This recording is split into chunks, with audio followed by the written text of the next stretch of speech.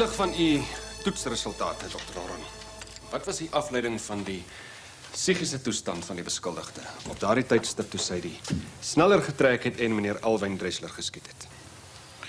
Ons afleiding is dat die pasiënt toerekeningsvatbaar was toe sy die moord gepleeg het.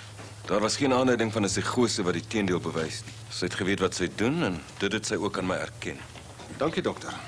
Ons het geen verdere vrae nie, edele. Dokter Horren, eerlik mag ek die getuie nader asseblief. Sekerlik. In u ondersoek het u onder meer hierdie kaart aan die beskuldigde getoon vir haar reaksie. Rorschach kaart nommer 10. Is dit korrek? Dis korrek. Wat was haar reaksie? Sy het gesê dis net bloed. Alles bloed. En Wat is Ida van afgeleid? Wel, het is moeilijk om te verduidelijken. Maar kom, ik maak het voor die makkelijker. Wat is een bullet aan toegekend? CF. CF. En wat betekent dit? Dat het een vormrespons is. Vormrespons.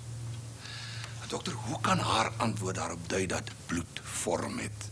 Bloed is vormloos. Het is een los algemene term. Een C-symbool zou meer toepasselijk geweest het, nietwaar, nee? Sommige sielkundiges kan dit so opneem, ja. Wil u nou vir hierdie hof vertel dat dit so 'n losse interpretasie kan hê dat twee sielkundiges lynreg van mekaar kan verskil? Ek is baie versigtig om 'n suiwer C toe te ken. Dokter, in gewone Afrikaans. 'n C simbool sou beteken dat daar 'n ernstige sielkundige afwyking by die pasiënt is. Wat kan lei tot waanbeelde en 'n gebrek aan kontak met die werklikheid. 'n CF simbool daarteen sou daarop dui dat daar 'n algehele gebrek is aan 'n psigose. Dit is die kern van u bevinding, dokter. En dit is ons submissie dat u gefouteer het toe jy CF simbool toegeken het. Is dit nie so nie? Dit is my oortuiging dat die CF simbool korrek is. Ek is baie bly, dokter. Geen verdere vrae nie, eerlik.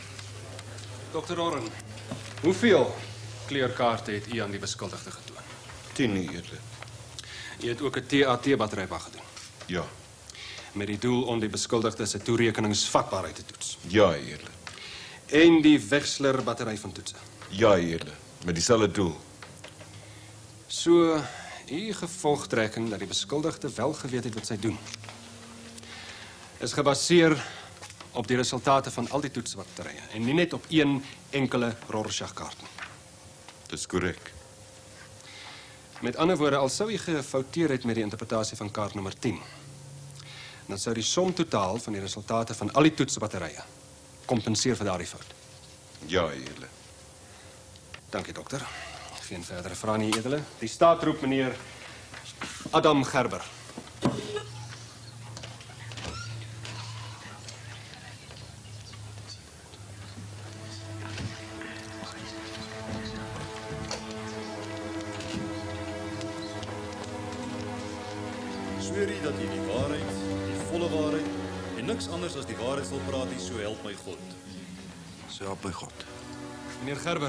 As nuusredakteur was u in beheer van die ondersoekspan na die Dressler verslag. Is dit korrek? Ja, dis korrek. U het ook die beskuldigde in die span gekoopteer. Ja, Hoekom? omdat sy beskikbaar was. Is dit die enigste rede?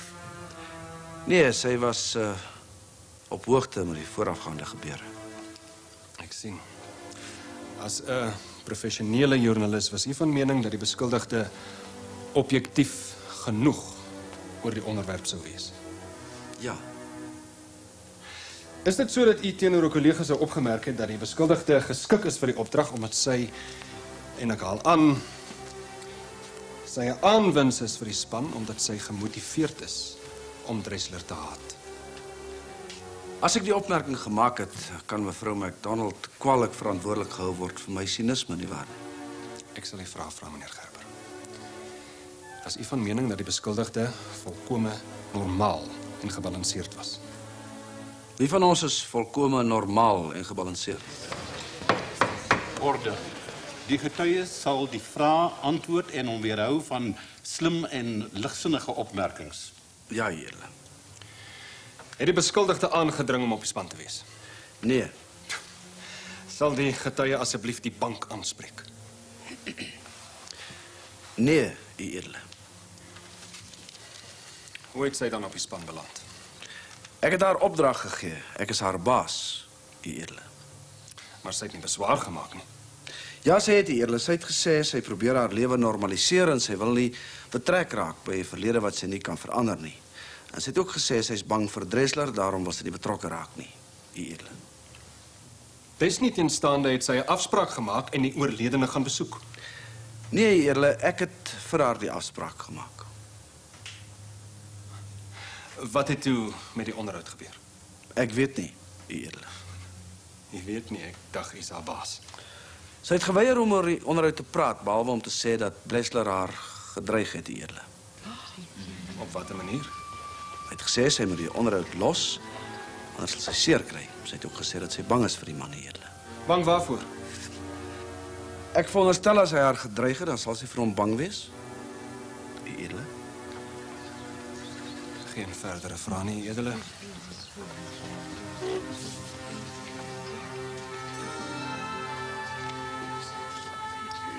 Meneer Gerber, nadat die beskuldigde uit Tara gekom het, het u haar ingesluit in 'n span wat 'n in diepte ondersoek gedoen het na die verdwyning van die Dressler verslag. Hoekom? Mevrou McDonald was op daardie stadium belangeloos en negatief en ek gedog sou 'n goeie idee wees om haar besig te hou en om haar te prikkel om uit haar dop uit te kruip, edele. Was u bewus daarvan dat dit vir haar baie traumaties kon wees aangesien sy so emosioneel en persoonlik betrokke was by die gebeure rondom die verdwyning van die Dressler verslag? Ja, edele. En nogtans het u haar betrek. Mevrou McDonald is 'n joernalis. Ons verwag van ons joernaliste om hulle persoonlike afkeure en vooroordeele op sy te skuif en hulle werk professioneel te doen. Ek het haar nodig gehad en ek het haar betrek. Het sy ooit gesê dat sy hom haat of 'n wrok het teen hom of dat sy haar man se dood wil breek Nee, edele. of dat sy Dressler wil dood hê? Nee. Sou u sê dat die ondersoek 'n spanningsvolle tyd vir die beskuldigde was? Ja, baie. Na die onderhoud met Dressler het sy baie teruggetrokke geraak. Die uh, dood van Dressler se assistent, Grinling, en net daarna dokter McDonald se tikster het haar ewig ontsien nie. Het sy geglo dat Dressler daarvoor verantwoordelik was? Ja, sy het. Intussen het daar 'n foto van haar halfbroertjie in 'n ongemerkte koevert by ons kantoor aangekom. Ek het 'n soortgelyke foto van my dogter ontvang. Die polisie was van mening dat dit 'n onverbloemde dreigement was en dat ons die ondersoek na Dressler moes staak. Mevrou McDonald was in 'n toestand van paniek dat iets met die kinders sou gebeur. Daarna sy Kaapstad toe om met die huisbediende van haar man te gaan praat. Die vrou is die volgende dag in die veld aangerand en sy het later in die hospitaal beswyk. Daar was toe by my en by haar nie die minste twyfel dat haar lewe in groot gevaar was nie. Dieselfde nag toe die bediende dood is, is Marina deur 'n man op die Kaapstadse stasie byna om die lewe gebring. Sy moes vir haar lewe vlug. Sy het teruggekom Johannesburg toe en sy was selfs te bang om vir my te sê waar sy gaan bly het. Ek het haar by die lughawe gaan haal en in die stad afgelei. Sy was in 'n toestand van ewige spanning en vrees. Sy moes 'n nag in 'n leë spoorweg koets deurbring. Sy was honger en uitgeput en bang. Ek sou sê op die randjie van 'n totale ineenstorting. Meneer Gerber, was daar by u 'n spesiale persoonlike affiniteit teens die beskuldigde wat u weergawe van haar geestestoestand sou kleur? Nee. Baie dankie, edele, geen verdere vrae nie.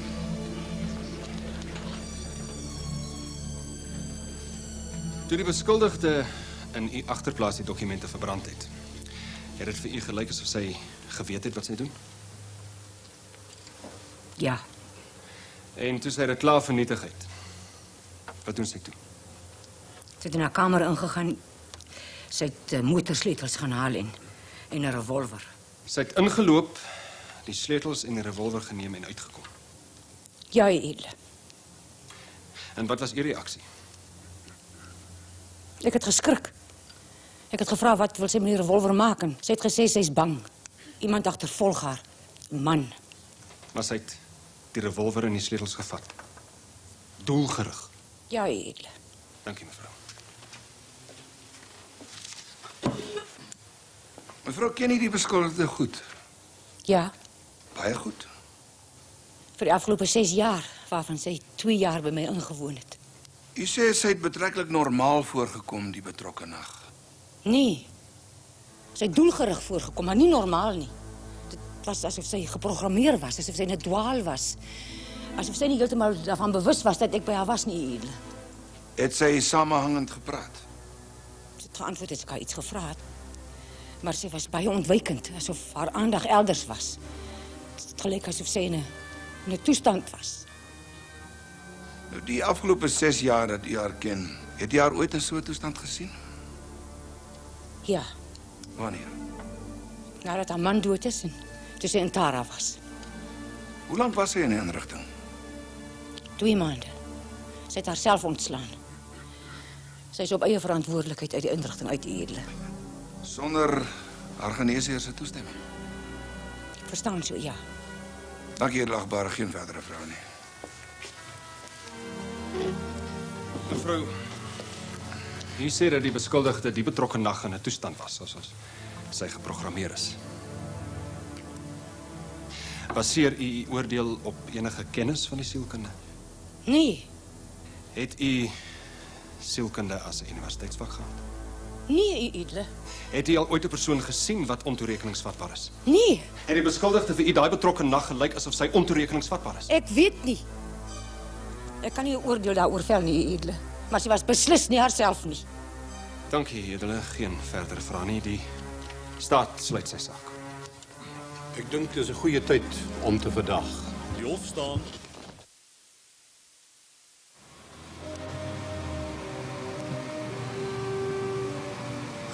Damn it. Luister, wij zitten je net in die kar tot van hierdie Volvo van kan. Kerels alsjeblieft. Luister man, julle weet mos ons kan nie kommentaar doen nie. Hand gee pad weer. Marina, enigiets vir die kykers vandag. Luister, niks van die kykers, niks van niemand asseblief man. Gerels kan nie weg. Meneer Gerber, 'n laaste woordjie, Marina. En jy bly by arbeid, staan. Marina, ons moet vir Fred sê van Karen. Van die naamlose oproepe. En van haar verbintenis met Dressler. Maar die hofsaak gaan nie oor Karen nie. Dit gaan oor Dressler se dood. Wat maak dit saak wat Karen se aandeel was? As ek wat die moord gepleeg het.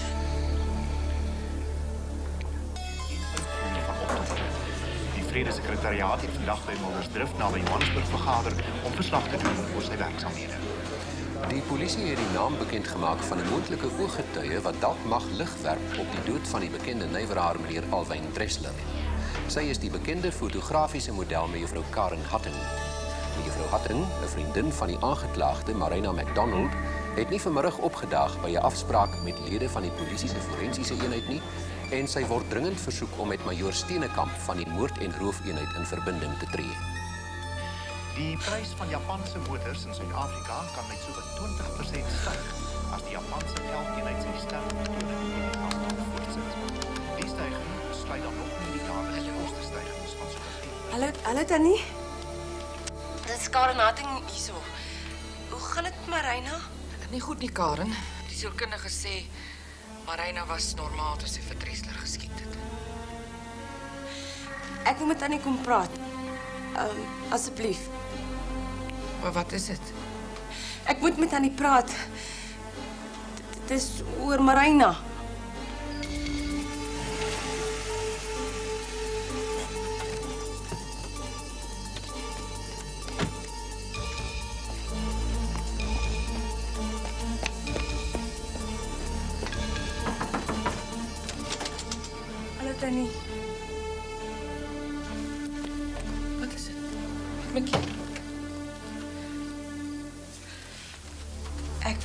Dressler toe Marina hom geskiet het. Ek het dit gesien. Wat? Ek sal praat. Ek sal enigiets doen om Marina te help. Ek, ek weet baie dinge. Karen, waarvan praat jy? Die polisie soek my tannie. Ek is bang. Ag, doen maar my kind. Ons sal Marina se advokaat bel, Fred Bouwer. Hy kan hier na toe kom. Uh, Maak jij zo lang voor koffie.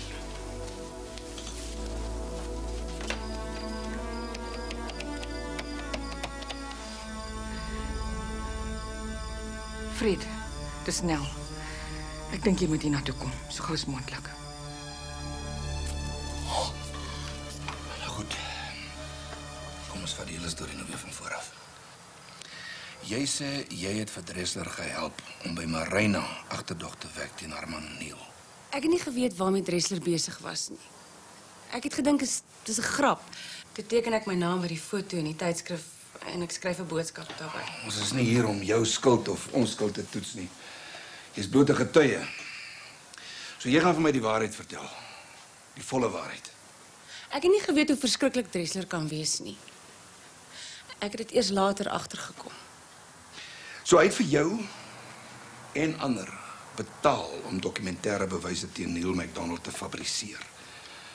Wat 'n soort dokumentasie? Ek weet nie alles nie. Daar was beëdigde verklaringe dat Neil korrup was. Dressler het dit opgestel en en baie mense het dit onderteken. Watter mense? Die mense wat deur Neil ondersoek is. Is dit die dokumente wat Marina die nag van die moord verbrand het? Ek weet nie. Ek dink so. Die verhouding tussen jou en Dresler. Was dit intiem? Ja. Het hij je vertrouwd? Ik denk zo. Wat had hij alles weer verteld? Dat Neil nooit die verslag zal schrijven. Ja, maar dat was toen Neil nog geleefd, hè? Ja. Was Dresler verantwoordelijk voor Niels dood? Ik weet niet. Daar was 'n man wat opdragte by Dressler gekry het. Die polisie soek hom oor die reeks moorde op getuies. Hoe weet jy daarvan? Ek moes vir Dressler 'n opdrag vir die man by 'n winkelsentrum gaan opsit op 'n kennisgewingbord. Ek het die man gesien toe hy die die boodskap kom afhaal het. Dit was die man van die identikit. Wat 'n opdrag was dit? Ek weet nie. Dit was seker in 'n kode. Ek kon dit nie verstaan nie. Dit was na die dood van die eksteenvrou in die Kaap. Niels Tikster. Is jy doodseker daar was 'n verbintenis tussen Dressler en hierdie man? Ek het die man self gesien. Dis die man van wie Marina weggevlug het by die Kaapstadse stasie. Hy het hom voorgedoen het as 'n majoor van Dyk van die SAP.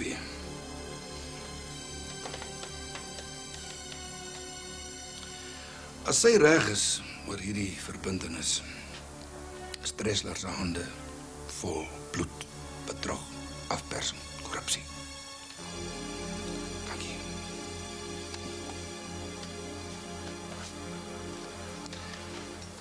Die nag van die moord, was jy by Dressler in die bed gewees? Ja. Kan jy dit bewys? Die polisie weet ek was daar. Ek het my make-up sakkie daar vergeet. Ek het so geskrik. Ek het net my goed gegryp, maar ek het my make-up daar vergeet. Wat het die nag gebeur? Ek het al geslaap toe die voordeurklokkie lui. Ek het my lam geskrik en my klere gegryp en en alwyn Dressler het afgegaan onder toe om die deur oop te maak. Ek het op die balkontrap gestaan en luister. Dit was Marina. Dressler het vir haar gevra of sy die verslag gebring het. Sy was byna waansinnig geweest. Sy het gesê hy het haar man geïnkrimineer met met gefabriseerde verklaringe. En wat sê Dressler toe? Hy het gesê natuurlik het hy. toe Dresser vir haar gesê as hy vir hom die verslag gee, dan sal hy vir haar die oorspronklike dokument teruggee. Hy het verwys na die die valse beëdigde verklaringe. Ek, ek kan nie mooi ont, onthou wat wat toe gebeur het nie. Dit dit was so vinnig. Maar ek dink Alwyn het geskree sy moet die revolver wegsit. En toe begin skiet sy. Is jy bereid om dit onder eed te getuig? Dis die waarheid. Ek sweer dit. Dis die heilige waarheid. Met ander woorde, Marina het onder provokasie vir Dressler geskiet. Jy sê sy het byna waansinnig gelyk. Sy was buite haarself. Ek het haar nog nooit so gesien nie. Ek het gegil, dink ek. Marina het lank daarna net nog gestaan en kyk. Verder onthou ek nie meer nie. Ek het net my goed gegryp en gemaak het ek al weggekom. Ek dink haar getuienis is die belangrikste enkele ding wat kan bewys dat Marina nie 'n gepremediteerde moord gepleeg het en dat sy onder provokasie opgetree het. Sê jy dit doen, Karen? Natuurlik sal ek dit doen. Majoor, het teenoor die beskuldigde die mening uitgespreek dat die fotos wat sy en meneer Gerber ontvang het 'n direkte waarskuwing was dat die kinders in gevaar sou verkeer as gevolg van hulle. En dit is nou die beskuldigde en meneer Gerber se beriggewing. Is dit korrek? Ja, ek het hier. Was die beskuldigde na u mening bang dat daar werklik iets met die kinders sou gebeur? Baie beslis ja. Sy het dit in 'n baie ernstige lig beskou. Baie dankie. Geen verdere vrae nie. U mag maar afstaan. Die eerder ek roep my volgende getuie, mevrou Karen Hatting.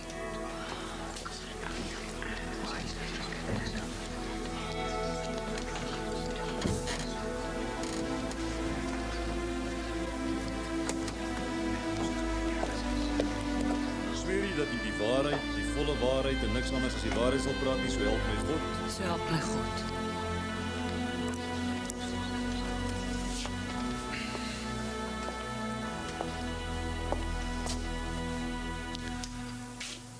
Juffrou Hatting, hoe lank het u die oorledene meneer Dressler geken? 3 jaar. Goed geken? Ja. Juffrou praat net asseblief 'n bietjie harder, die hof kan u nie hoor nie. Sou u sê dat u en meneer Dressler goeie vriende was? Ja. Was u 'n vertroueling van Dressler? Tot 'n mate ja. Wat was uw opinie van hom, juffrou?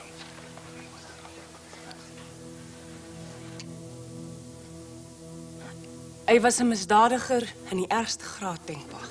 Die edele, ons maak ten sterkste beswaar teen hierdie soort ondervraging. Die oorledene se persoonlikheid is nie hier ter sprake nie. Wat is die oogmerk met hierdie soort vrae, meneer Bouwer? Die edele, die verdediging sal deur hierdie getuie aanvoer dat Dressler die beskuldigde stelselmatig geterroriseer het. Dat hy haar man geviktimiseer het. Dat hy 'n verbintenis gehad het met 'n verdagte moordenaar.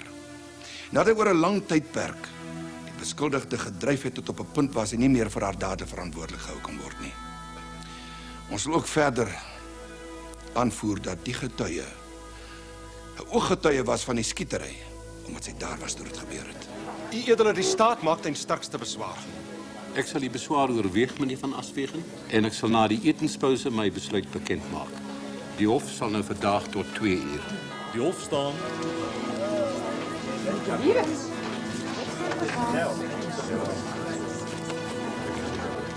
Die regter sal Karen se getuienis moet aanhoor. Dit is belangrik vir Marina se motivering. En die pers gaan 'n groot sensasie hiervan maak. Die regter gaan belaglik lyk as hy dit probeer verbied. Ουρήρα, φασκωμένετε εγώ να κάσα πλήφ. Ένα γυρίφων θα παρακέσα πλήφ.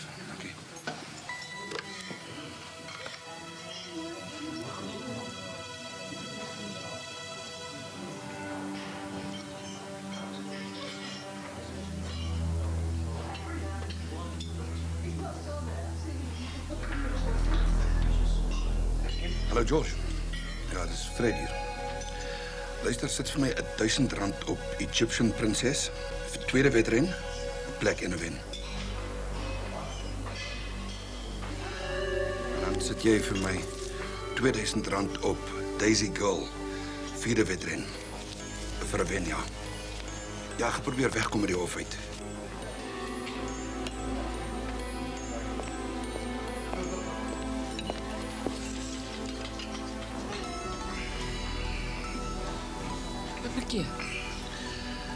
Net skielik baie duiselig. Is niks nie, sal nou weggaan. Stilte die hof.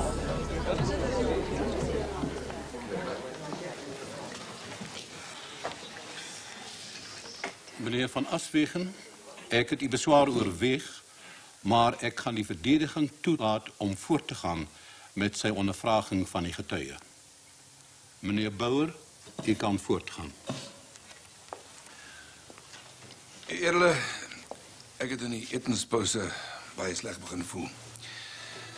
Ek ly erg aan duiseligheid en narigheid. En aangesien juffrou Hatting se getuienis van kardinale belang is in hierdie saak en ek dit nie graag wil ly terwyl ek onwel voel nie, wil ek u graag versoek dat die overdag tot môre. Is u ongesteldheid van so ernstige aard, meneer Bouwer? Dit is eerle. Meneer van Aswegen? Ons het geen besware nie. Dan verdaagt uw hof tot morgenochtend om 10 uur. Je hof staat.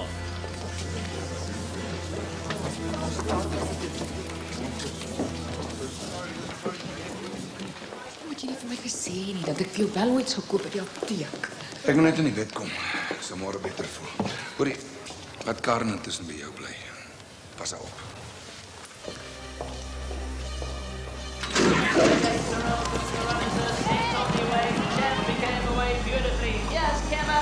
Kom aan. Kom aan toch net.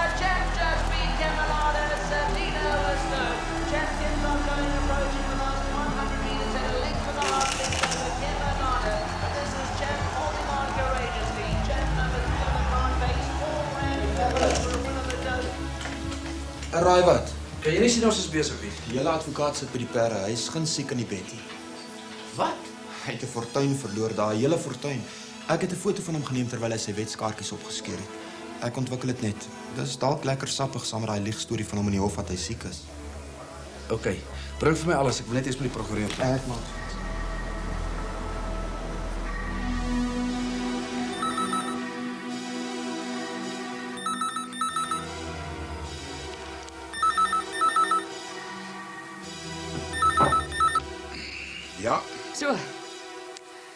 Jou perde is belangriker as my hofsaak, né? Fred, ek wil net vir jou sê ek is klaar met jou. Maak nie saak wat die uitspraak van hierdie hofsaak is nie, ek is klaar met jou. nou maar as jy klaar is met my, dan is jy klaar met my. Kon jy dit doen? Dis die belangrikste dag van die hofsaak en jy maak of jy siek is om te gaan dobbel. Kyk, ek reël my sake soos ek wil. Die hof gaan nie weghardloop nie, Karen Hatting gaan nie weghardloop nie. So wat is jou probleem? My probleem is dat ek skielik niks van jou dink nie. Niks nie. Almal het my teen jou gewaarsku en ek wou nie luister. Maar nou is ek klaar met jou. Vergoed klaar met jou. Jy het nou presies 4 keer so gesê. Jy verveel my.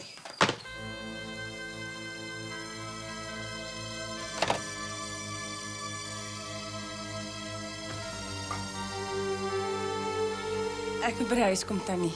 Ek wil nog skoon klere kry en en daar's duisend dinge om te doen.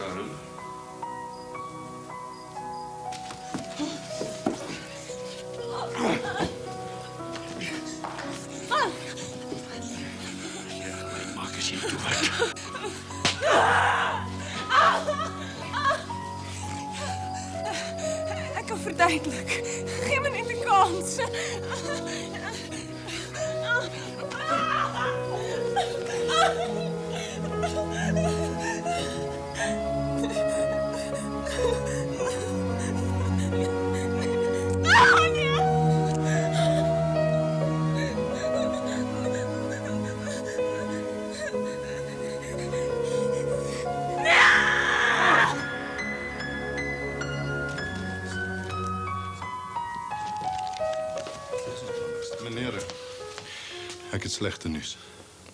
Juffrouw Harting is dood. Wat? Zij is in haar huis vermoord. Waarschijnlijk gestrand al. Ons onderzoekbeambte is nou op het toneel. Dat is bitter mijn leidraden. Verskoon mij. Het het je paard niet eens gewen, Nee, Fred. Dat is niet moeilijk, nie, man. Als ons net gisteren... Als ons nou net niet gisteren duizelig en naar was niet. Kon sy haar getuienis klaarmaak. En dan was dit alles op rekord en kon die staat dit getoets het. Nee, Fred. Jy is klaar in hierdie professie, klaar. Ek gaan persoonlik by die balie 'n klag teen jou lê. Ons is in die regter in sy kamer.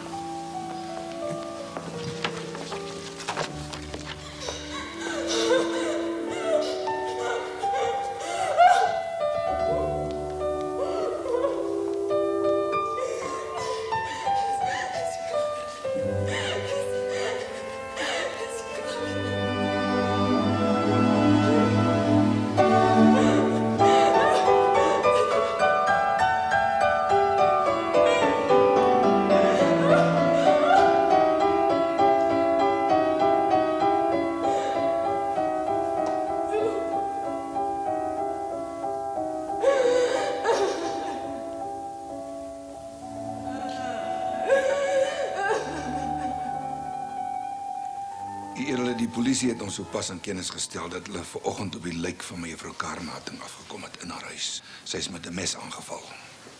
Die polisie het 'n moorddossier geopen, maar die verdediging sal dus nie die geleentheid hê om haar verdere getuienis aan die hof voor te lê nie. Hou haar dood verband met die saak? Wel, ons weet nie, edele. In die geval sal haar getuienis van gister as ook u opmerkings, meneer Bouwer, van die rol geskraap word, aangesien die staat nie die geleentheid gehad het om dit te toets nie. Uit die aard van die saak, edele. Verskoon my. Mevrou, Ek wil getuig, ek wil nou getuig. nee mevrou, is in geen toestand om nou te getuig nie. Ek wil getuig. Nee. Ek gaan vra vir 'n verdaging en dan kan ek en jy rustig hieroor praat. Marlena, luister asseblief meneer Hemstra. Asseblief luister. Moet getuig. Soveel ongeluk een mens omring, so konstant volg. Wat gaan van haar word? Ek weet nie.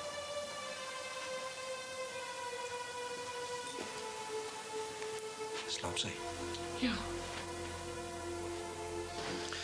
Sy sal nie wakker word nie, is beter so.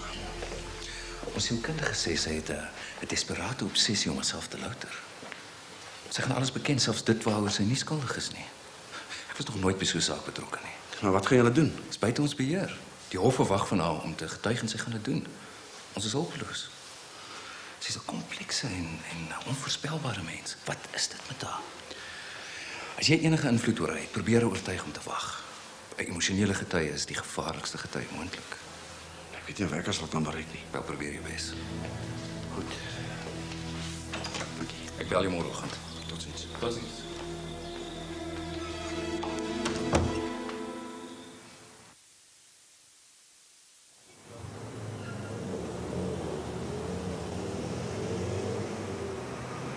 edele die beskuldigde het versoek om nou te getuig. Goed, gaan voort.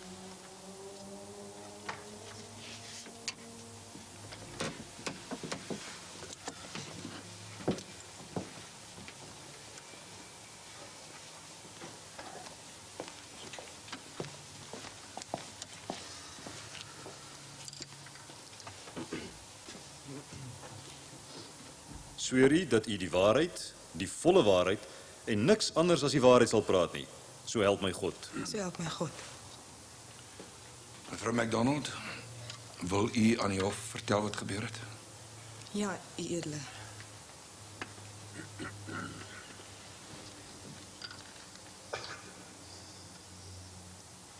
Here. Toe ek met Neil McDonald getroud is, hy was die eerste geluk wat ek geken het. Die 2 jaar wat ons getroud was, was die gelukkigste 2 jaar in my lewe. En uh nou is selfs daardie herinneringe verwoes.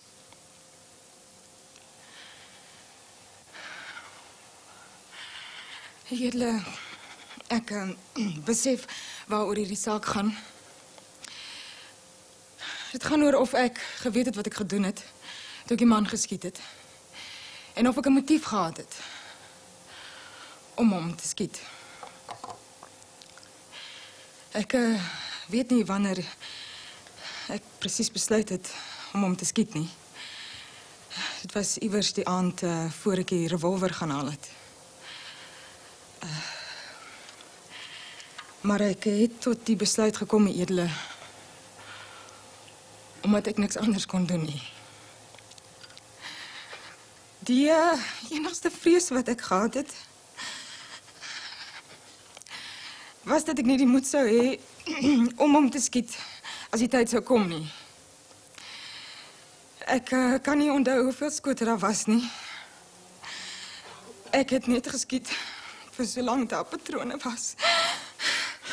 Ek het geweet wat ek gedoen het.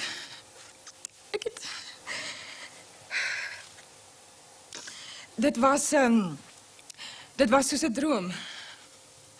Maar ek het geweet wat ek het.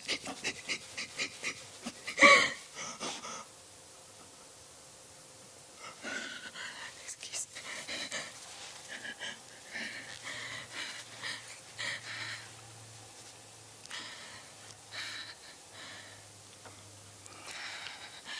Mag uh, niemand ooit deur hierdie al gaan wat ek gaan nie. Ek weet dat die Here my gaan straf. Wanneer wraak kom my nie toe nie. U u gaan my vra of ek nie berou het nie. Hoe kan ek hê? Hoe kan ek verduidelik? Die man is boos. Hy was boos. Hy het uh, mense net so duiwels gemaak soos hy. Net so korrup. Hy het hulle verneder. Hy het hulle ingelok in sy dekadente bestaan. En hy het hulle betrek en deel gemaak van sy verwronge gees. Die Die aand toe ek na hom toe gaan, het ek al die dokumente verbrand sodat niemand ooit sou weet wat daarop was nie.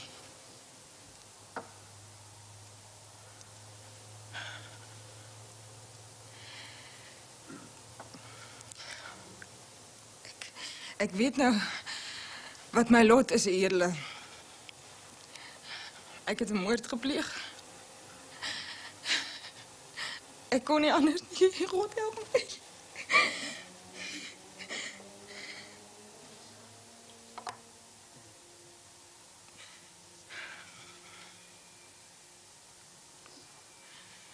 Meneer Bouwer.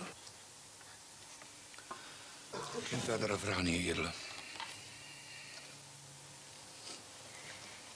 Meneer Van Aswegen?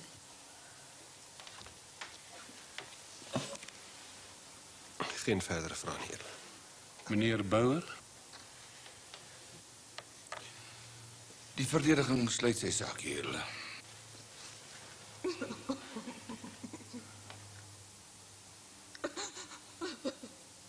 Ik mag maar afstaan.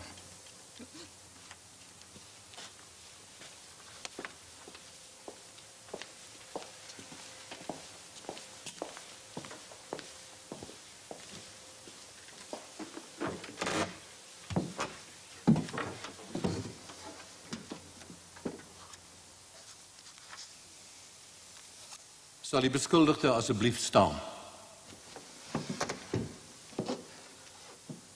Marina McDonald, hierdie hof vind jou skuldig op die eerste aanklag, naamlik die van moord op meneer Alwyn Antoni Dressler op 16 Augustus vanjaar.